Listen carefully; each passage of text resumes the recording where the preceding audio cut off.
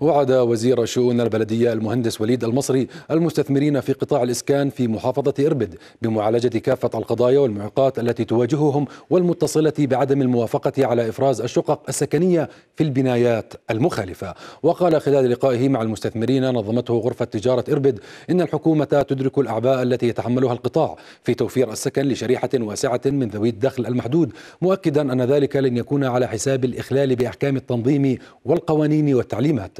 وأكد أن الوزارة تعمل بشكل حثيث على دعم البلديات ومنها إربد نظرا لحجم الأعباء المترتبة عليها جراء اللجوء السوري والتزايد الطبيعي للسكان مؤكدا أهمية الحفاظ على طابعها الديمغرافي وعدم السماح بانتشار البناء العشوائي الذي يتنافى مع كونها مدينة عصرية.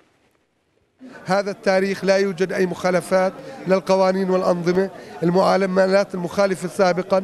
صنفناها لمخالفات بسيطة ومخالفات متوسطة ومخالفات يمكن صعب معالجتها. الأولانية البلدية وهندسة البلديات بحلوها الخفيفة.